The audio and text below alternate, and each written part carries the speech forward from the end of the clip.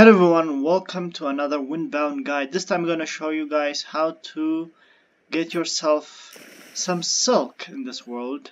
And to get some silk, it is kind of like, it's both easy and hard I would like to say. Because the enemies who you get it from are kind of tricky. So, do you see those white stuff in there?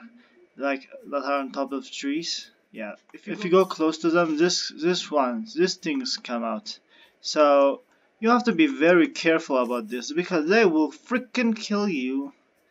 Because there are not one, but there are four of them. So do hope that you have a boat. My, I mean, yes, a bow do do nicely, but I would assume a stick is much better. Since it's kind of long range and I kind of broke mine, so let's let's get my stick up and ready.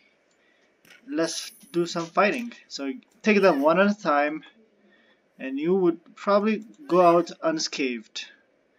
I can't find the other one. There are four of them. There is always four of them. So do not let your guard down until you have killed all of them. Oh, there are more now. oh, I actually killed all of them at the same time.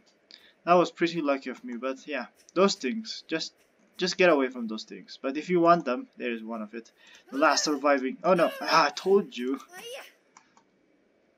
But yeah, those things, the more you can I, you can shoot them down if you want. You can shoot them down, it won't make a difference. They'll just come down trying to hurt you again. So yeah. Try to take them out as fast as you can. Okay.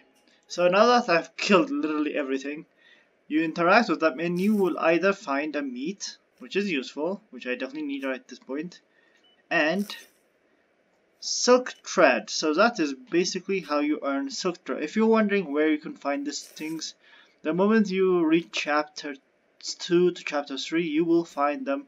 So get ready. Look up always look up. I've the first time they jump scared me the heck so yeah always remember to look up check your surrounding before you just head dive in because they will surround you. So anyway I hope this was useful.